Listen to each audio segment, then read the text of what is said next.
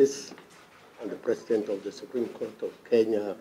Honorable Martha Koome, the Chairman of the National Police Service Commission, and the commissioners who are present today, senior officers, uh, good morning. Honorable Chief Justice, on behalf of the National Police Service, we thank the judiciary under your leadership for steering the criminal justice system in order that we work as a team.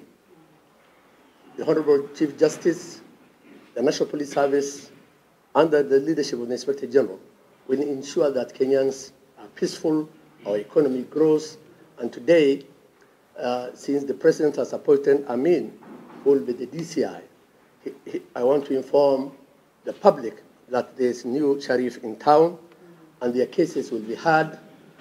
uh, without uh, any prejudice, and Kenyans will see the fruits